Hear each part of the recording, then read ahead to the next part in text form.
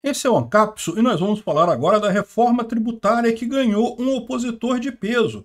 Bolsonaro se posicionou ontem contra a reforma tributária. Isso é uma ótima notícia, porque finalmente a gente tem um nome forte agora batendo contra esse absurdo completo que é essa reforma tributária. Vamos entender o que está acontecendo aqui. Essa notícia foi sugerida por Comunista Maconheiro de Humanas, Ministério Etron e várias outras pessoas. Obrigado aí ao pessoal que sugeriu a notícia. Obrigado a você que está assistindo o nosso vídeo. Se você gosta do nosso conteúdo, por favor, deixe o seu like e se inscreva aqui no canal. Né? Eu não vou repetir aqui todos os argumentos que eu já falei contra a reforma tributária, mas só para explicar isso daí, primeiro, essa reforma tributária não simplifica absolutamente nada, ela cria novos impostos sem acabar com os impostos anteriores.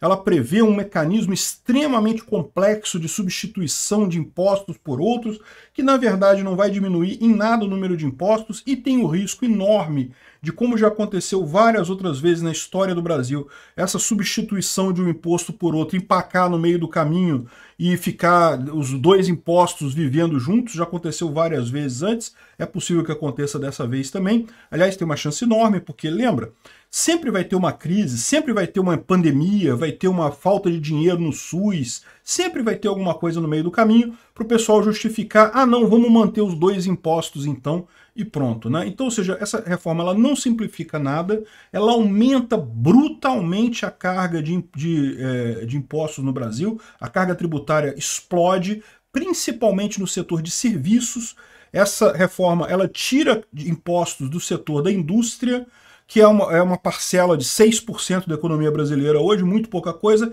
e joga essa coisa toda para o setor de serviços, que é onde a maior parte das pessoas trabalha, a maior parte das empresas opera no Brasil. Com isso, a carga tributária como um todo cresce muito, não é pouca coisa não.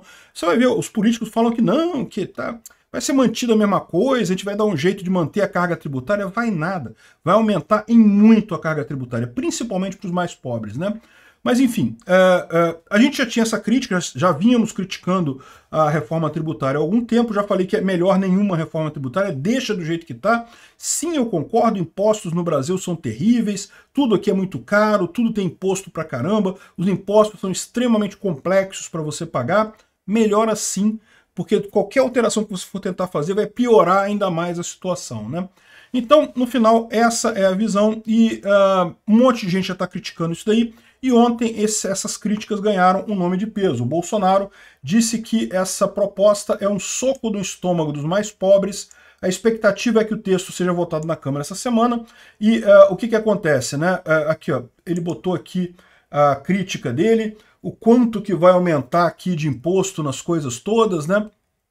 E Uh, um ponto importante nessa história toda é a questão da cesta básica. Né? Você vai ter uma cesta básica que hoje ela não é tributada e vai passar a ser tributada em 12,5%. Isso vai aumentar o custo da cesta básica. Tem alguns economistas da esquerda aí dizendo que não, que fizeram a conta, que não vai aumentar nada não sei o que lá, ou que vai até diminuir, coisa e tal. Mas você vai ver, eles fazem um monte de suposições que não tem como se refletir na realidade. E e o principal ponto aqui é esse. Para para pensar, por que, que essa cambada de político ia querer fazer uma reforma para ajudar você, meu amigo? Não, eles estão nem aí para você, eles querem ajudar o bolso deles, eles querem arrecadar mais no final das contas. Deixa do jeito que está, é o menos pior, é do jeito que está agora, né? Enfim, o Bolsonaro entrou nisso daqui e isso é importante. Por quê? porque o Bolsonaro, bem ou mal, ele tem uma afluência muito grande sobre os deputados, sobre os senadores. Lembra, muitos deles foram eleitos por apoio a Bolsonaro e mais do que isso, muitos deles pretendem continuar sendo eleitos nas próximas eleições com apoio a Bolsonaro. Então, mesmo que Bolsonaro não tenha nenhum cargo federal executivo hoje, mesmo que ele esteja até inelegível, ou seja, que ele não possa é, é, se, se candidatar em 2026, Muitos desse, dessas pessoas sabem que ficar do lado de Bolsonaro garante um monte de voto em 2026 para eles. Então, Bolsonaro virando e dizendo: olha só, é melhor não ter isso. Com tantas insanidades, a PEC merece um só destino: o arquivo da Câmara. Com Bolsonaro colocando isso, a tendência é que muita gente feche esse, essa posição contra a PEC. O PL já fechou, já fechou a questão. Vai votar contra a PEC. Né? O PL é o partido do Bolsonaro, que tem 99 é, é, é, deputados, ou seja, é, já é metade do número que a gente precisa para impedir a PEC. Se a gente conseguir 200 deputados, na verdade são 217 deputados, impede a PEC, né? Porque a PEC ela precisa de dois terços da Câmara, então precisa de 308 votos, são 514. Não, peraí, tem que fazer as contas aí. Pouquinho mais de 200 deputados você impede essa PEC, né? Teria que ter 308, 514, teria que ter 500, 205 deputados. Se tiver 205 deputados, você impede essa PEC. 99 a gente já tem que é o PL falta mais um cento e pouquinho aí de outros partidos. O Lira sabe que não tem os votos necessários ainda, estão tentando tirar as resistências a essa reforma tributária, mas no final das contas é isso daí, né? É, muita gente está inconformada com essa reforma, muitos estados estão preocupados em perder arrecadação, e muitas, muitas pessoas também, né? É, é aquele negócio, é, quando chega no, no Congresso, fica essa briga, né? O Estado querendo puxar para um lado, a indústria querendo puxar para o outro, a prefeitura querendo puxar para o outro. E qual que é o grande problema dessa briga toda no Congresso? É que sabe quem é que não está lá no Congresso? Você. Você está aí vendo esse vídeo, eu estou aqui gravando vídeo. A gente não está lá brigando pelo nosso imposto lá, para ter menos imposto nessa história toda. Então adivinha no cu de quem que vai entrar essa piroba? Vai ser no nosso mesmo, não tem Esse pessoal, todo mundo que está brigando lá, que está discutindo, vai salvar o lado de todo mundo lá. Só o nosso que a gente não está lá para discutir isso, que vai acabar sendo ferrado. Né? Então, essa, é por isso que não deixa, deixa a reforma tributária, não mexe. Deixa os impostos do jeito que estão, ruim do jeito que está, é melhor do que se tentar mexer. Né? E o próprio relator já falou aqui, ó, o relator já está tentando fazer uma jogada para dizer que é uma briga de Lula com Bolsonaro, ou seja, que é, Lula quer passar a reforma, Bolsonaro não quer que a reforma passe. E uh, não é só isso, né? Isso é um ponto. Eles estão querendo fazer isso aqui para poder criticar Bolsonaro e tentar convencer as pessoas de que a reforma é uma coisa boa. Mas não é. E aí, você já vê aqui, ó, olha só, um monte de gente que também está se posicionando contra essa reforma. Não é só Bolsonaro que está contra a reforma. O, o Caiado está falando isso também. Oito governadores e 500 prefeitos vão a Brasília também porque não querem do jeito que está. Os prefeitos divulgaram aqui um comunicado contra a reforma tributária, então tem um monte de prefeitos que não quer essa reforma tributária também. Mesmo o Tarcísio ele tem resistência a essa reforma, ele diz que aceita 90% da reforma, mas tem uma parte lá que ele não aceita. E é essa é a história, né? Todo mundo aceita a parte que ajuda eles, né? Os prefeitos aceitam a parte que ajuda eles. Os governadores aceitam a parte que ajuda eles. A parte que prejudica, aí é a parte que eles não aceitam. O problema é que se torna impossível a, a, ajeitar todas essas peças no final das contas. Essa pode ser a nossa salvação. Esse pessoal, todo mundo, um mordendo o outro para tentar roubar mais a você, roubar mais a mim, e no final das contas eles não conseguem chegar a uma conclusão e a coisa não anda. Eu estou torcendo para que seja isso que aconteça.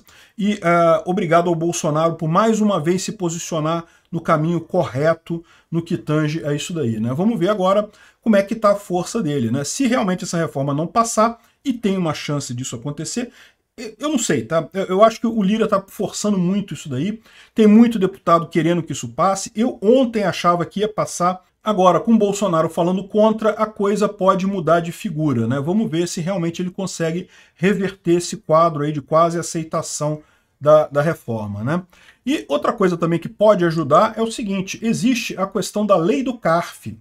Por quê? O que, que acontece? A lei do CARF ela já está em regime de urgência, ou seja, é, ela tranca a pauta da Câmara. Antes da Câmara votar qualquer outra coisa, qualquer outra lei, inclusive a reforma tributária, tem que votar a lei do CARF. E na própria lei do CARF já está tendo discussão entre os governistas e a oposição lá na Câmara, não tem certeza de nada, ela tem que ser votada, não tem que ser necessariamente aprovada, pode ser aprovada, pode ser negada, mas ela tem que ser votada antes. E de qualquer forma, o Lira quer que ela seja votada, né? Então já está essa lei já está azedando o ambiente político lá e no final das contas pode acabar com o adiamento da reforma tributária. E aqui tem outra coisa nessa história, né?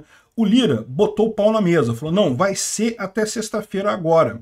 Isso significa que, se não conseguir votar até sexta-feira agora, vai ter um efeito parecido com o da PL 2630. A coisa vai meio que para um limbo que não é que eles desistiram de aprovar a PL 2630, a gente sabe que eles querem aprovar ainda, mas a coisa está cozinhando em banho-maria, vai demorar a, a, voltar de novo. Por quê? Porque eles sabem que se voltar agora, perde de novo. A mesma coisa a reforma tributária. Vamos torcer para isso acontecer. A melhor coisa seria essa. Seria a lei do CARF nem ser votada essa semana, que aí já joga tudo para frente, já entra na semana que vem o recesso parlamentar. Vamos ver. Tomara que o apoio de Bolsonaro leve a essa vitória para a sociedade brasileira. Obrigado por assistir o vídeo até o final.